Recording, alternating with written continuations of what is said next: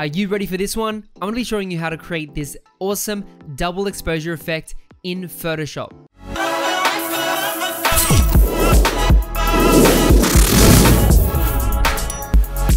I love this effect. You can mash up photos together. You can create this cool effect when you manipulate a human face or an even an animal face and you can chuck, you know, mountains, trees, any types of images to create a cool collage. Now I'm going to show you how to do this effect. So let's jump into Photoshop. So I'm going to go to File and I'm to click on New. I'm just going to make it the 1080 by 1920 normal square pixel size.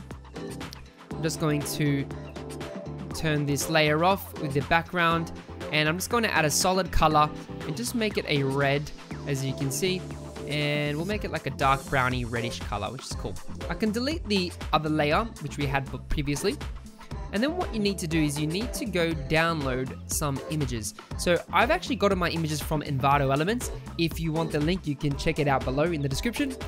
But you can see here I've downloaded sort of this cloud isolated black background. That is really cool. I've also went and downloaded a bison. I found something like this. And really what you want to look for is you want to look for a face. So this one would probably be a good one as well. You can see it's got a nice face. You can get a bison, you can get a animal, a lion, whatever you're feeling for the day. If you're trying to, if you don't have Envato, what you can actually do is go to Unsplash and it's got all these amazing photos. So I typed in mountains into Unsplash and I was trying to go for that bison, canyon, rocky, um, dry type of feel, and that's why I went for mountains.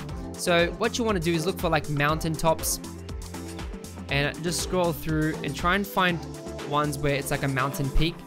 So you can type in like mountain peak even and try and get some photos like this.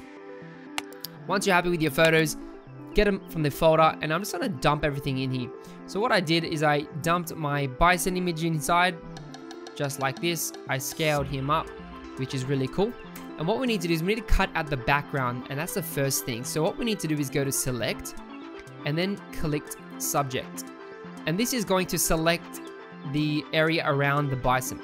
I'm going to press Control Alt R on the keyboard and this should go into the masking mode. You can change the different overlays so you can see what's happening, what's going on. I usually use black. And then what I like to do is click the refine edge tool at the top left. You can see the second little icon and what you want to do is you want to go along just the very edge and just highlight just like that. So you're getting the fur and the hair like that. And what Photoshop should do is it should start to get rid of that. And you want to make sure that decontaminate colors is ticked as well. You can always make the brush a bit smaller. I like to make it minus it and just go a little bit smaller. And you can do that with the shortcut key by pressing the square brackets left square bracket is smaller and right square bracket is bigger. I'm, I'm sure you know that shortcut, but you know, I'm all about dropping those shortcuts for you guys. Once you're happy, what you want to do is you want to press OK, and now you can see we cut out this background, which is really cool. Now what I'm going to do is I have this layer mask, you can see the black and white. The white is showing all we need to see. I'm going to press B for the brush tool, and I'm just going to paint around the head and just I want to get rid of everything outside that. So you can paint it out. You can also use the lasso tool. The shortcut key for that is L, so I can trace around the face like that. And then what I like to do is press Control Shift I to inverse and press Control Delete. Make sure that you have the right selected, make sure the foreground's on black. So when I press Control Delete or Command Delete if you're on a Mac, it will get rid of everything um, outside that selection. And if I need to clean anything up, so you can see there's like a line, a weird line thingy here, I just go and I brush it out using the black color just to hide that so I don't want to show anything. So working with Photoshop can get kind of messy, guys. Just remember that. Beautiful. So we've got our bison face, our bison head. I'm just going to scale it and bring him into the middle there. And if I need to, just make sure I'm nothing else is showing, just rub that out like that. And then what I can do is I can right click and on the layer, and you can actually just rasterize this or convert to smart object if you want. It's already rasterized, but beautiful. Amazing. So what I'm gonna do is drag in my mountaintop. So I've got heaps of them. You can see here, I've got a few examples. So I'm just gonna drag them and drop them in. As you can see like this. press enter just to make sure that Photoshop is, you know, dropping them in properly. And then what you want to do is you want to drag all of the layers. The quick way to do that is select holding shift and left click and I can then drag and drop the layers below the bison head. I'm gonna bring the original bison file down the bottom and just, I'm gonna lock that in case I need, need it as a, a backup. I also want to um, make a copy of the layer mask. So what I can do, you can see this layer mask of the actual bison head. So I need to just clean up the the white space there. So I'm just gonna do this. And you can see on my vector uh, layer mask, inverse it and then make sure there's no black. So I've got this, this head mask here. And what you can actually do, you can actually drag and drop to replace marks, or you just press Control J, make a copy, and I'm gonna drag the layer down the bottom there as a backup. Beautiful. What I wanted to do is go to my top layer with the bison, and I wanted to change the blending mode to screen. You can also use lighten, but screen typically works better. I'm going to turn my layers off, and you can see now with screen activated, it's a bit different. It, it pretty much blends with the bottom layers. So now what I'm going to do is I'm going to start to position some of these rocks and I'm going to turn my top layer off.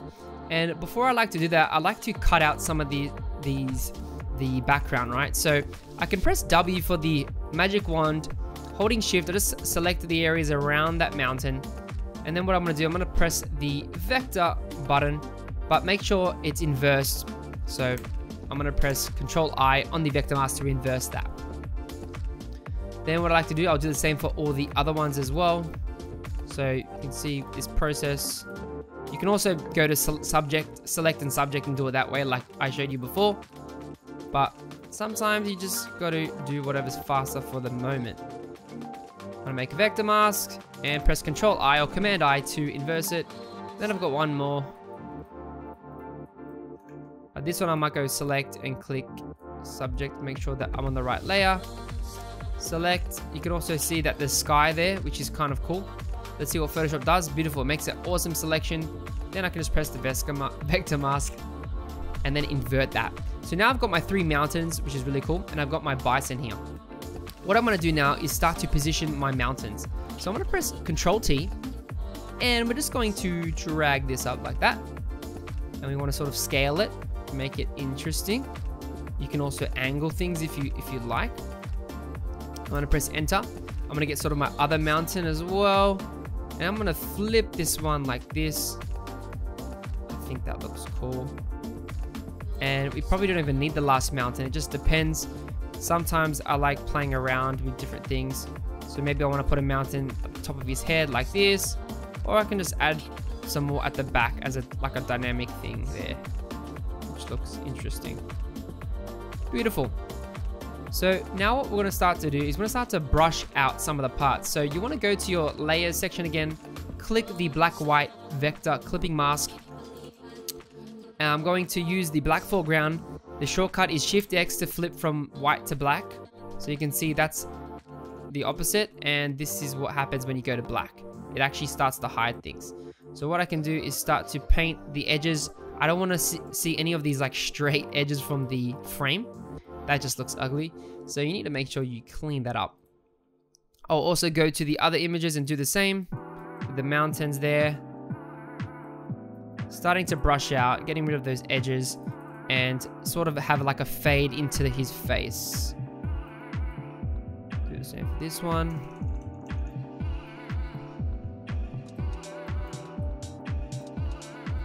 So it does take a bit of practice to get used to this. So I'm just pressing B and then I'm, you know, making the brush bigger or small if I need to, if I have to. Beautiful. So I'm, I'm, I'm liking this at the moment. I think this is really, really cool. So what I'm going to do now is start to sort of, you know, blend some of these areas and I'm going to actually make his face black and white.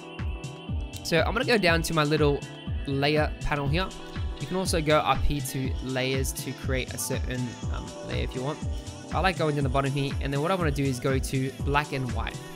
This should make everything black and white, but what I can actually do is just tweak some of these parameters if I want. So I can make his face certain areas darker. And then what I'm going to do is hold Alt or Option if you're on a Mac and just between the two layers, you left click and it should add that black and white just to the bi bison's face. What I wanted to do, I'm going to add a hue and saturation layer. And what I'm going to do is leave it on master and click colorize. Then what you can actually do is you can go and find whatever color you want right? I typically like a nice red color or orange color and I bump up the saturation. You can make it heaps. Don't do, do it too much because you might, might look too crazy. So I can do it like that. Maybe I want it reddish or brownish, whatever you want. And then I can just leave it like that. Get out of that box. And you can see now we've got this cool effect. Everything's starting to blend. You can see now this mountain is over and covering his horn. So we need to fix that going to click back on the vector mask. And the best way I know how to do this is just go and like start to paint over that area. As you can see, let his horn and just paint around him so the mountain is going to be in the background. If it's too harsh, as you can see, like it's very light, what you can do is drop the opacity down. You can press the numbers on your keyboard like the number 4 and it will drop it to 40%. And then what I'm going to do is just paint around the edges like this. I'm going to press Shift X and just, I'm switching back and forth between white and black. Just painting the areas that I need to and then just hiding and showing the areas that I want to be seen. Just like that, so you can see his horn. Okay, that's kind of looking cool. That's amazing. I need to sort of blend some of these here, blend more of this, mountain into his head, like that. And the cool thing about this is we can always use this as a frame of reference. So if you hold control and click on the original mask we made of the bison's head, you can see that we have this. So what we can actually do is we can actually hide certain elements of the mountains, right? So if I wanted to hide this outer mountain, we can actually sort of get rid of it. So just make sure I'm selected on the right one. Okay, for example, this mountain. I can inverse the selection and I can literally just paint out, paint out the mountain like that if I want to. But because we want to make it like a bit interesting and creative that it's sticking out of his head, that's why we want to have this sort of mountain in the background. And I think that looks fine. You can see here as well, this mountain here, it's sort of um, a bit outside of that. So I want to sort of rub out this bit. You can see there's like a little edge here. And I want to make sure that I'm rub that out. And let's see if it's, not, it's I'm on the wrong layer. Make sure you're on the right layer all the time, guys. And okay, it seems to. Okay, there we go. Fix it. So I'm just gonna paint, and you can see we can use that selection as a guide, as you can see. So now I literally like rubbed out whatever was there we can probably paint that in, but it's just sky there, so there's no mountains. So we want to make we want to leave that. So you can see there, it sort of looks like it's part of his head because you've got like that fur, which is cool. So it just adds a nice, nice effect there, which is really interesting. If any of the edges are looking weird, I can always go back to the bison and like blend out the edges here. So I'm just tapping my mouse and I'm going along the edge with a soft brush in Photoshop, just a normal soft brush. That's all you need. And I'm just going to see that there's a bit of a mess of a mountain here. So I'm going to clean that up as well. Just like that. And we sort of want to always have like a nice blend going on. Between his fur and the mountain tops. Which is really, really cool. All right, beautiful. So now what I'm going to do, I'm going to start to sort of blend these areas again. So you can see we can blend a bit more of this mountain into here. Into this mountain. This mountain's a very like snowy, rocky one. So we probably have to drop the uh, brightness and opacity, which we'll do that in like a second. And I'm just doing this. Hope you guys are enjoying this type of tutorial.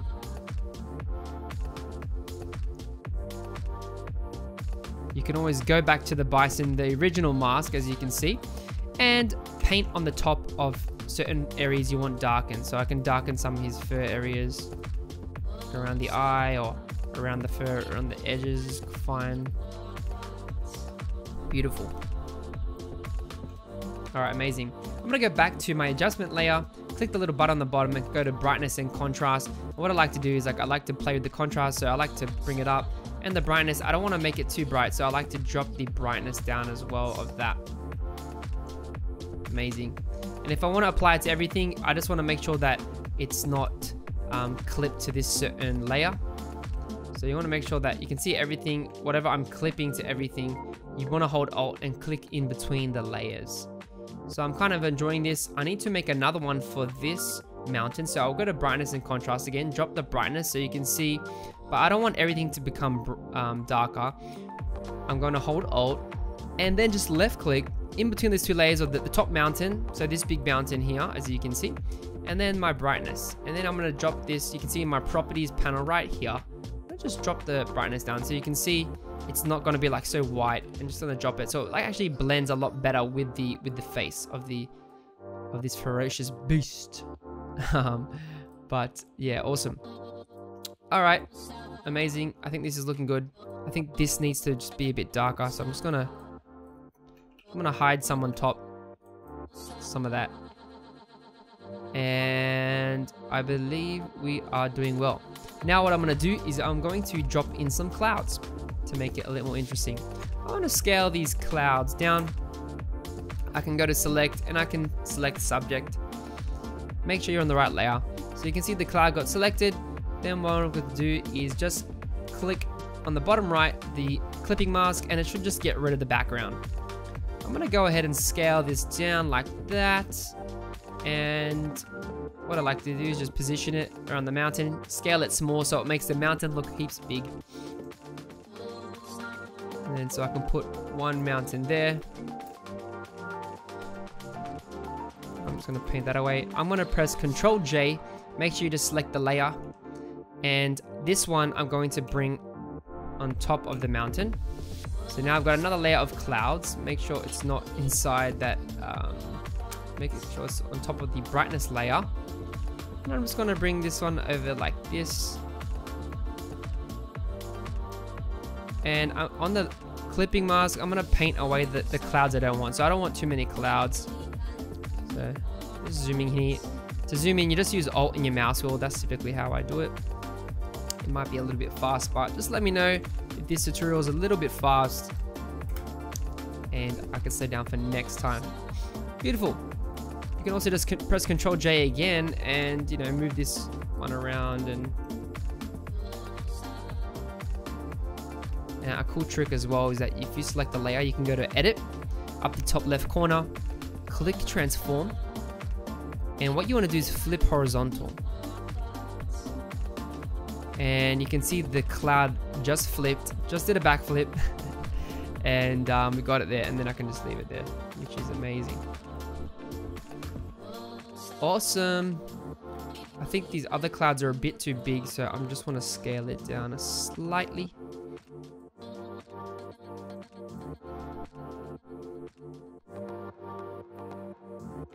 Beautiful.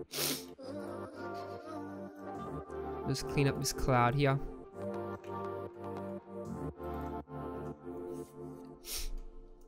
And you can see some of the bison that you can see it's a bit dark near his eye. So for this, what we can actually do is go to the brightness mask and we can actually paint, you know, white along his eye and that should brighten it up. Another cool thing as well is that we can actually paint, make a new layer. And I'm just gonna use the soft brush tool, but make sure it's like a white. And if you go down to either overlay, you can also go, usually color dodge works all right. But you can see overlay, it makes it a lot brighter. You can see that. So we've sort of like added this nice little flare I'm scaling it up so you can see that on his eye there. And I think we've done really well. Can always tweak and you can blend things a lot more. So you can see there's the bison and there's all the mountains that we've created. And you can see the original there and you can see all the mountains there and it's looking amazing. Hope you guys enjoyed this tutorial. Let me know if you want to see more tutorials like this, Photoshop, Illustrator, whatever you like. I'm here to help you grow as a graphic designer and learn the tools of the trade so you can run your full-time design business. Thanks so much for watching. Remember to hit that like button because it helps the YouTube algorithm and drop a subscribe if you want to see more design content every week. Jeremy out. I'll talk to you next time.